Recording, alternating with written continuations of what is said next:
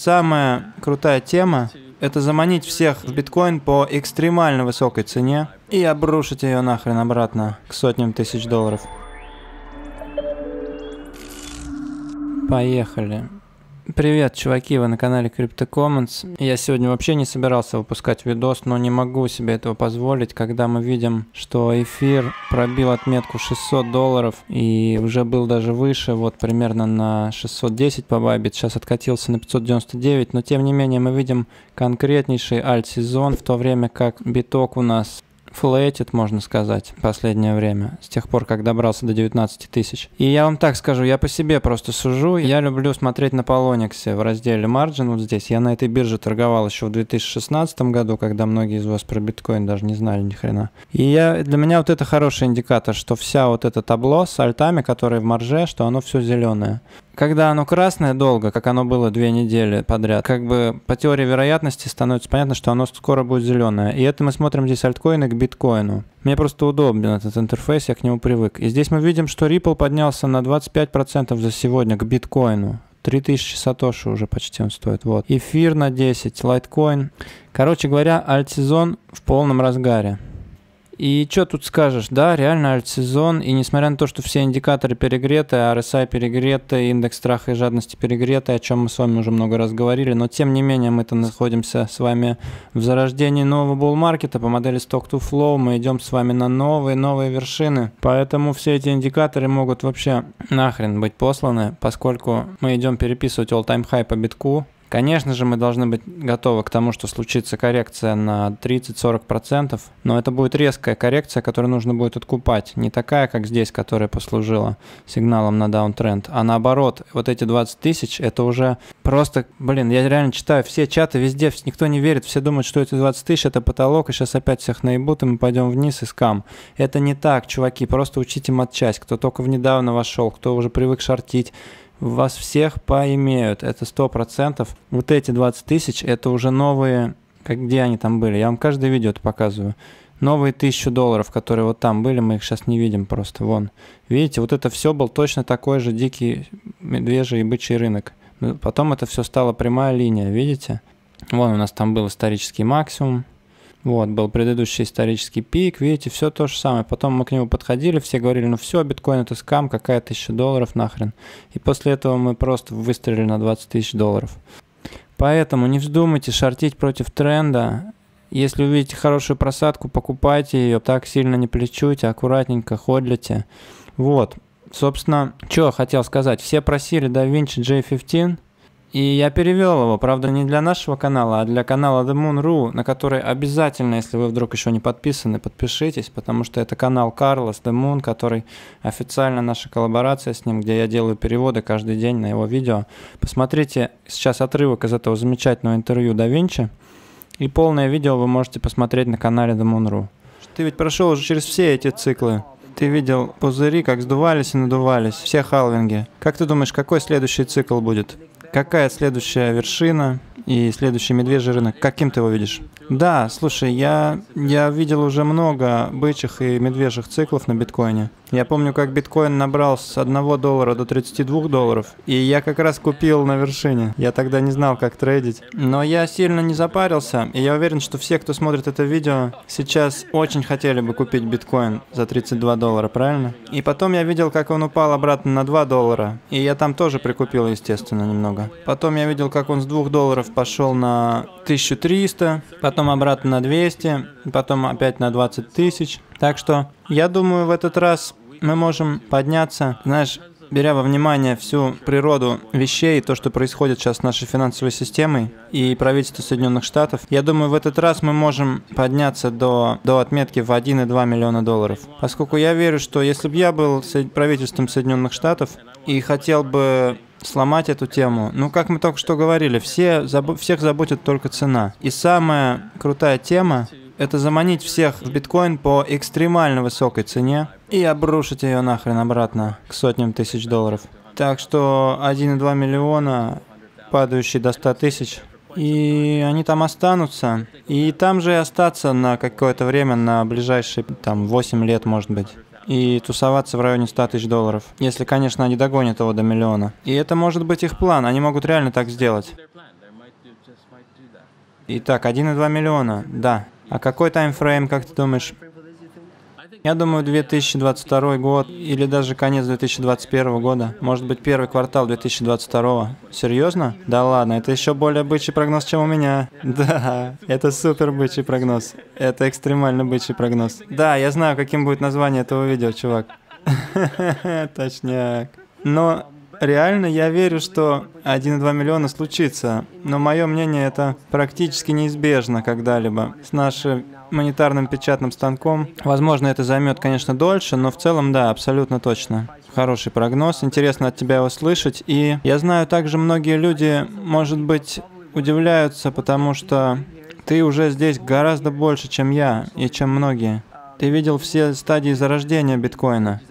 И, очевидно, люди спекулируют, кто такой Сатоши Накамото. И я знаю даже, что некоторые люди спекулируют, что ты, может быть, Сатоши Накамото. Во-первых, ответь, пожалуйста, на этот вопрос. Ты или Сатоши Накамото? Нет, это не я. Я бы мог, конечно, им быть, поскольку, да, я хотел тоже создать такую сеть, но я сдался очень быстро. Я не должен был этого делать, поскольку, да, есть некоторые вещи, есть некоторые стечения обстоятельств, которые говорят о том, что ты бы мог. Даже если бы я был Сатоши Накамото, я бы никогда... Ой, сейчас подождите, у нас тут самолет летит. Подождем, пока самолет пролетит и продолжим. Видишь, походу все-таки он Сатоши, раз такой на самолет переключился. Так и так, если бы я все-таки был Сатоши Накамото, я бы, во-первых, никогда вам не сказал, что я он. Точно. И я бы стер бы все ключи, которые мог.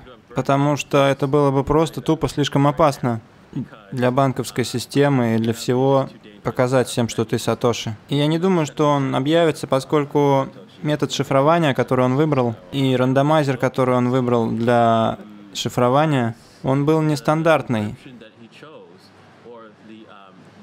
Нестандартный рандомайзер. И люди спрашивали все время, почему, почему он использовал такой метод шифрования доказательства ключей.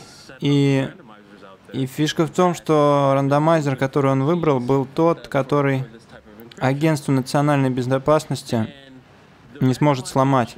Потому что он знал, что они не смогут сломать шифрование публичным и приватным ключом, который используется в биткоине или в любом, и во многих еще шифрованиях в интернете.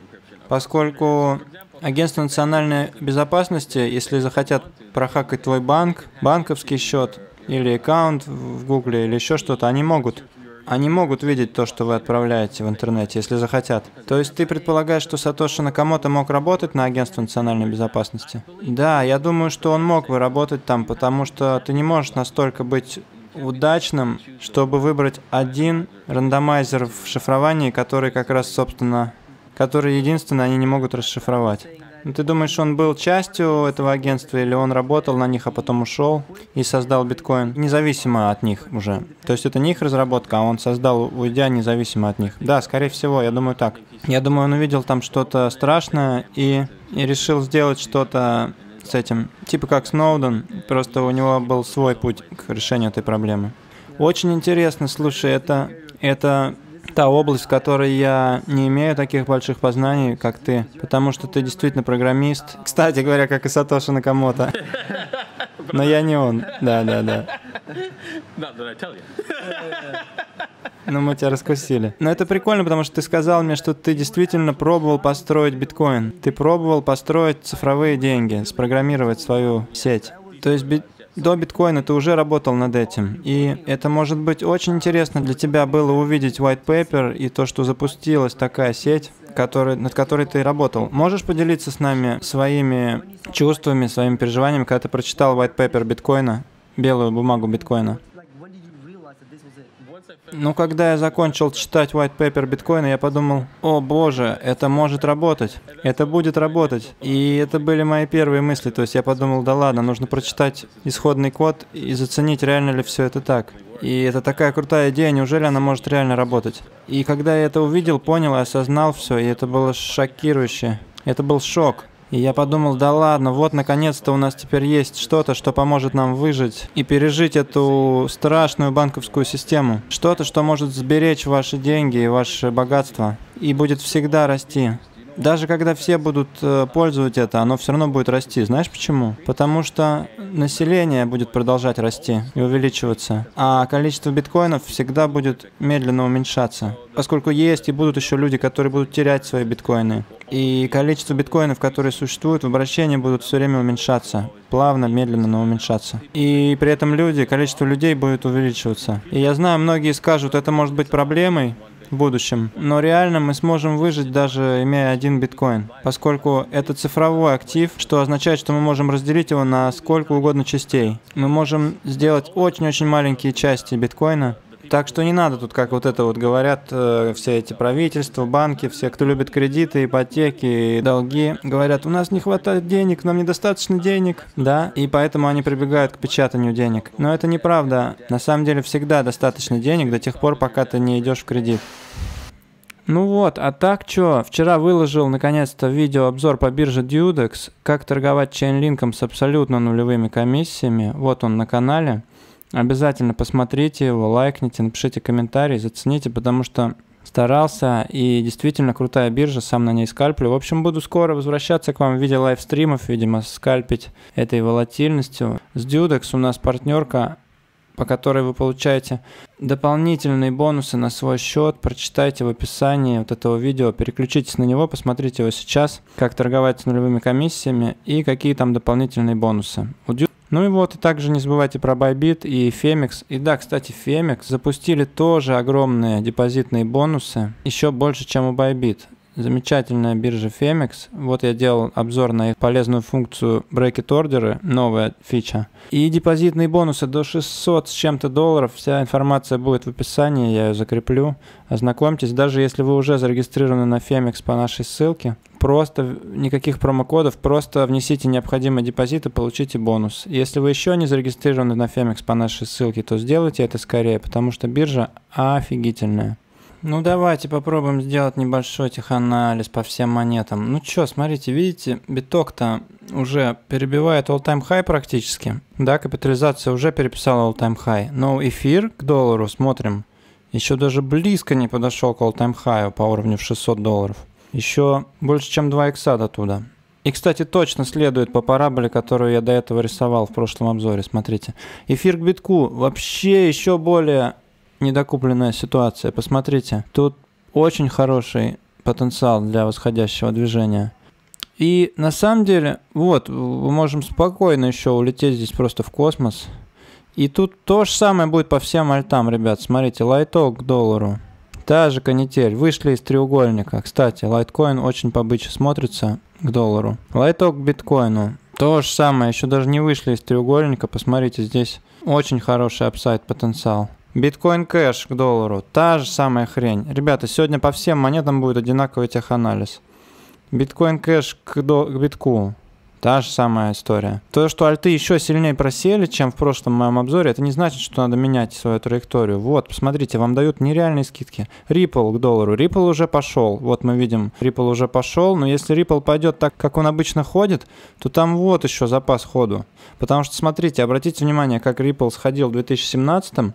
Вот этот раз он сходил до уровней 25 тысяч сатоши. И вот этот. Это два разных раза, чтобы вы понимали. И в первый вот этот памп биткоин стоил 1000 долларов.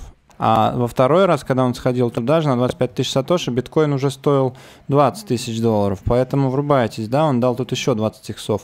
Не люблю я, правда, Ripple. А Dash, посмотрите, обратите внимание на Dash USD. Dash вообще находится на супер all-time лоях. Видите, он даже не еще не на трендовой, которую я рисовал. То есть он как минимум на нее вернется, а это уже 2 икса отсюда, даже больше. А так он ее пробьет и улетит в космос, это, блин, 20 иксов. И даже к биткоину та же самая ситуация, смотрите, просто исторические минимумы бьет цена к биткоину. Мы на этих уровнях, где он сейчас вот опускался ниже 500 тысяч сатоши, мы торговались последний раз в 2014 году. Вот, с тех пор мы были выше все время. В 2014 году, врубитесь, гайс.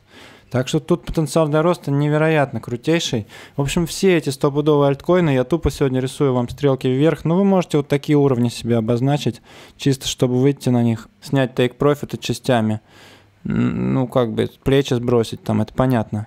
Эфир ETC вот тоже я тарю по полной, потому что ETC это настоящий эфир, в отличие от эфира. ETC это как BTC если ETH это как BCH. Если не понимаете почему, погуглите историю создания эфира классика. Вот, он тоже на all-time лоях, и по нему там есть уже разворотные хорошие формации на мелких таймфреймах, если вы посмотрите.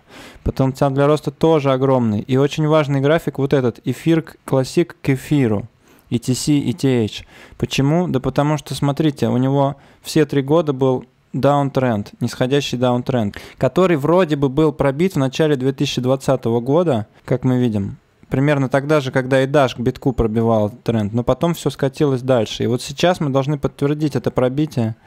Даже если я не прав, и он не пойдет наверх, то мы как минимум ложное пробитие туда же должны сделать. Но вообще, скорее всего, все пойдет, ребят, слушайте. Тут все закономерно. В рынке работают паттерны, настроение толпы. Сейчас никто не верит, никто не в ракете, вот оно все будет расти, стопудово. Знаете, в рынке всего в две стороны может идти, либо вверх, либо вниз. И вы либо на правильной стороне рынка, либо нет. И вот что я хочу вам сказать, на бычьем рынке старайтесь, если вы видите, что поза у вас красная, лучше выходите из нее нахрен пораньше. Понятно, что нет, если у вас есть своя стратегия, и вы плавно догружаетесь, то разговоров нет. Вот как я вытягиваю свой даш из просадки уже три месяца, я знаю, что делаю. Но если вы именно торгуете с плечами, и вам нужно быстро вот здесь и сейчас, завтра урвать, не сидите в просадочных позах, лучше просто выйдите и развернитесь или присмотрите к другой позе, потому что рынок он в моменте всегда тоже дает. Просто сейчас вот я лично знаю, что он больше даст, если дождаться именно лонгового движения по альтам, чем пытаться ловить каждый шорт-свинг. Ну и все те же монетки. Вот Stellar тоже за Риплом хорошо пошел, там потенциал огромный. Я даже, просто я уже можно не буду дальше тыкать. Манера тоже уже нам показал, вот что он в канале. Даже Raven Coin сраный, который я уже дико извиняюсь, что так давно всем толкаю набирать. По 200 сатоши еще набирал и по 100. Но сейчас он по 75, это просто подарок, и метит он куда-то на 400-500 сатоши, видите? Поэтому все, тут не надо быть гением, чтобы видеть тренд, тем более чтобы видеть истоки нового тренда, а точнее продолжение старого, который был три года сбит медвежским истребителем. Все, ребята, вот такой вот сегодня теханализ. Всех с профитом, кто дождался этого, торгуйте аккуратно со стопами или с небольшими плечами.